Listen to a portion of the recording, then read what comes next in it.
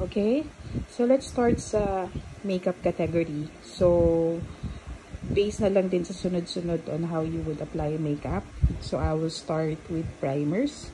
So, if you would see, um, yung nasa bottom would be itong mga to drugstores. Ito, um, medyo high-end. And then, this one more on um, Korean and um, skincare na ginagawa ko rin primer.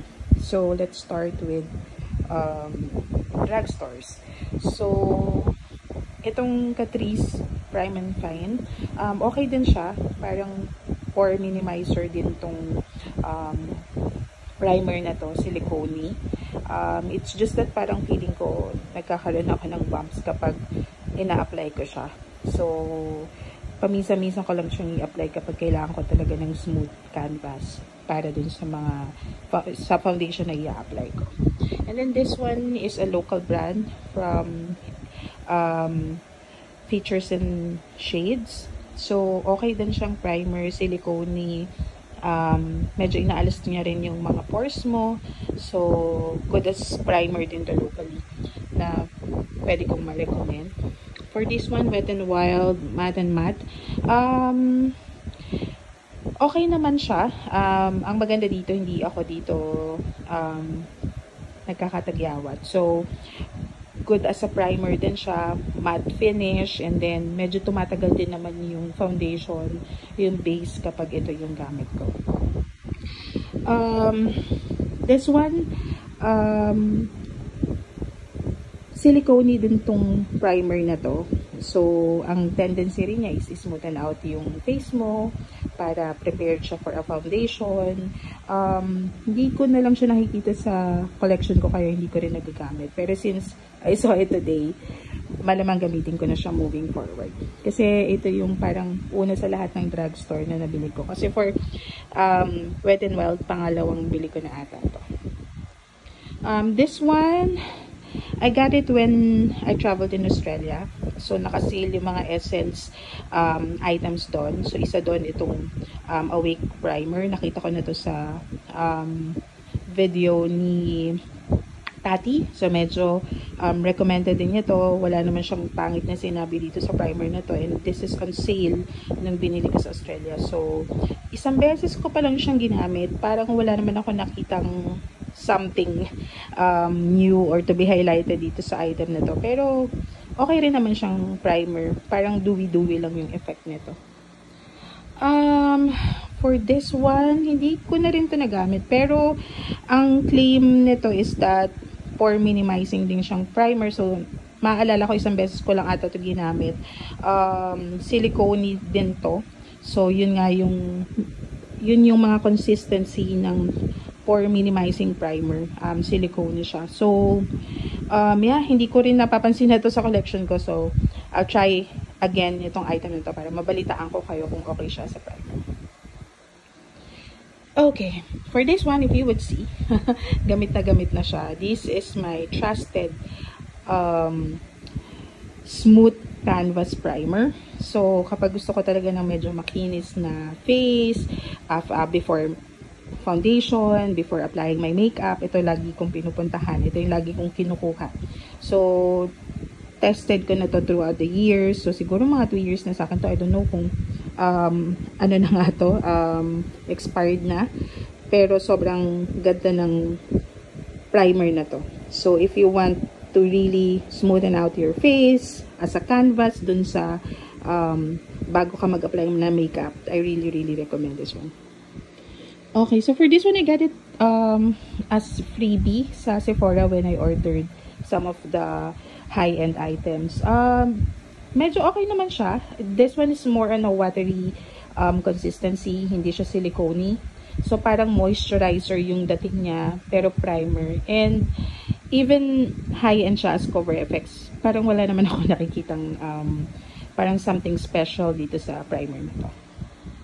For this one, um, I bought it sa Lazada. Ah, sorry, sa Sephora. So, this is really a good primer. If you would see, medyo um, nasa, nangangalahati na ata ako dito. This is a 3CE um, Pore Velvet Primer. So, this is a pore minimizing primer. This is a silicone, same with no problem. Um, this is really good. So, kapag um, kailangan ko ng matagalan na na makeup, ito yung ginagamit kong primer kasi ang tendency niya is parang patagalin yung makeup ko. So, madalas kapag may mga event, ito yung madalas kong ginagamit. So, this is really trusted as well. Um, tinatanggal niya talaga or pinapalitada niya talaga yung mga pores sa face mo. Um, ito yung unang-unang um, full-size primer na high-end na nabili ko. Nabili ko lang siya dahil sale siya sa Sephora. So, this is um, Becca um, Instant Complexion Refresh um, Priming Filter. So, ito more on, hindi siya silicone eh. More, more on um, parang water-based siya na primer na um, nagpapatagal naman siya ng makeup pero when it comes to, you know, hiding your pores or pakinisin yung face mo before foundation, medyo hindi ko naman nakikita yun sa kanya. Unlike dito kay Soul, Touch and Soul, and kay 3CE.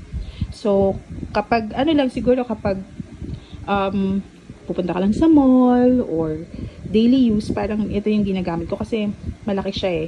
And then at the same time, parang um, hindi siya sticky kasi nga water-based siya. So, okay din naman siya. Pero as a high-end, parang mas nape-prefer ko pa yung ibang ano ka dito, um, primer. So, yun. Kinuha ko lang siya kasi seal. Okay. So, next one, itong Innisfree um, powder cream um, na primer. So, this is a primer actually. This is more on a silicone base as well. So, um, wala naman ding special dito. So, para lang, actually, hindi rin naman niya um, parang dinidecrease yung oiliness sa face ko.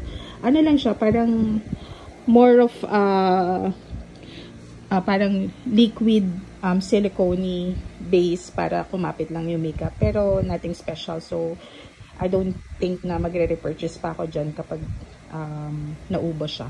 So, this one, this is a tone-up cream. So, tone-up cream, if you would know, is something that would, um, what you call this, that would brighten up your um, face before applying yung makeup. So, kung gusto mong um, medyo maglighten yung face mo instantly, even without applying makeup.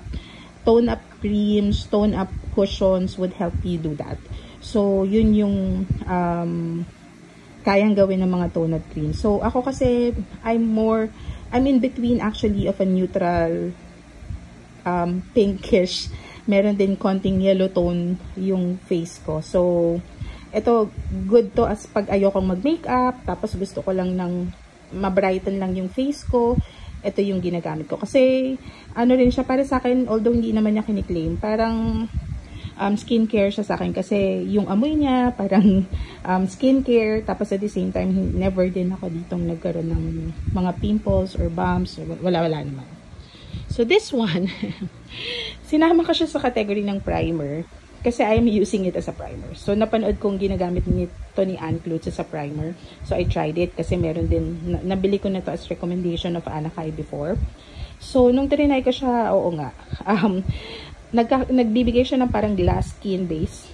So, before applying makeup and after applying makeup actually, nakikita mo pa rin yung yung parang glass skin mo. So, underneath nung foundation, um, parang binabrighten niya yung face mo. So, parang meron kang mirror dun sa face, dun sa mga high points mo, like yung upper chin, uh, upper cheeks, um, dun sa forehead, sa nose. So, okay siya. Kaya feeling ko kung as a primer lang to sa sobrang laki nito, sobrang tagal ko tong gagamitin. Pero meron din ako nitong green, yung talagang aloe vera lang siya, walang snail.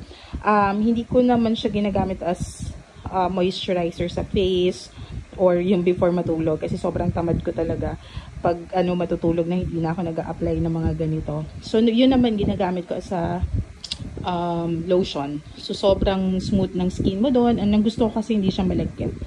Yun. So I will discuss that as well on the skincare category. Yeah, so that's it for my primer. So yan, I think ito yung pinaka-konti ko sa category.